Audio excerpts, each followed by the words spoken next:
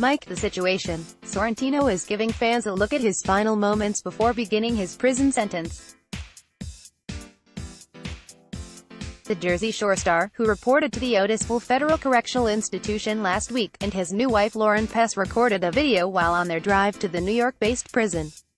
Get push notifications with news, features and more. Following the emotional clip, which was shared to YouTube on Monday, Sorrentino, 36, opened up about his thoughts ahead of his eight-month sentence for tax evasion and his plans to come out as a new man.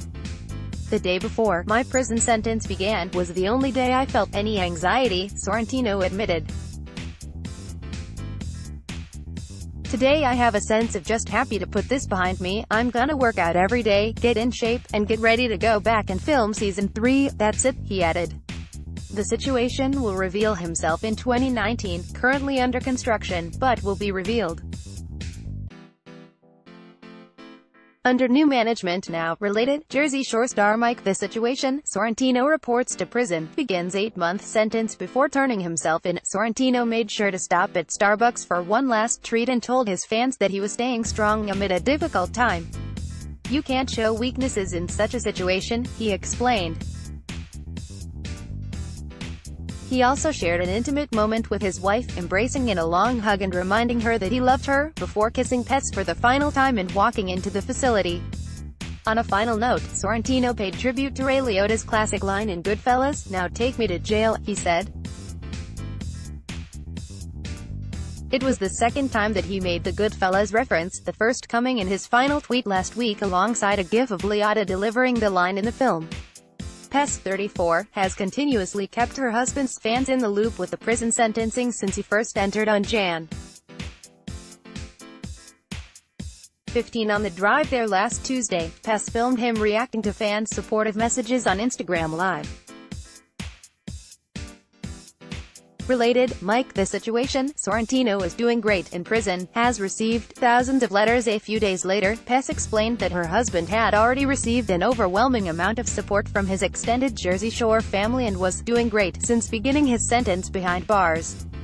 Hi everyone, it's Lauren. Mike would like to thank all of his fans worldwide for the unbelievable outpouring of love. We speak every day. He's received thousands of letters, he won't be able to respond to everyone but wanted to express his gratitude to each and every one of you. Sorrentino and his brother Mark were indicted in September 2014 for tax offenses and conspiring to defraud the United States after allegedly failing to properly pay taxes on $8.9 million in income from 2010 to 2012.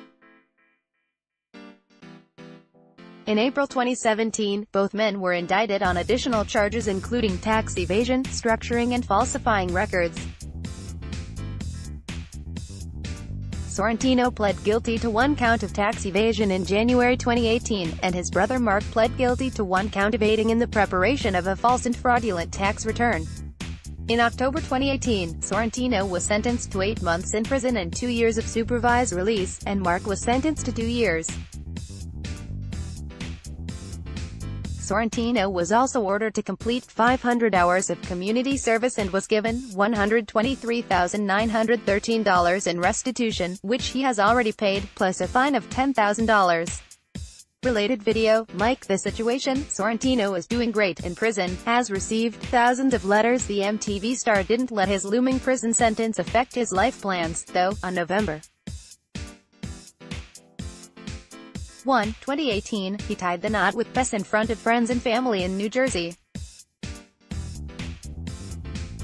The couple met in math class while in community college and got engaged on Valentine's Day 2018. We went out together for about four years, and then once Jersey Shore started we decided to take a break throughout seasons 1 through 6, he previously told People. Once the show was over, we eventually reconnected and have been together ever since. For over four years now, she's my best friend, my better half, he added. She makes me a better person. I'm so excited that she's in my life.